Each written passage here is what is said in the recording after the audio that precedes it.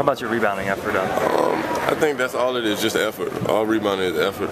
Just most of them 50-50 balls, just fighting to get to the ball before the other team gets it. And I mean, I feel like I'm just working hard, and uh, a couple of the balls just bounce my way.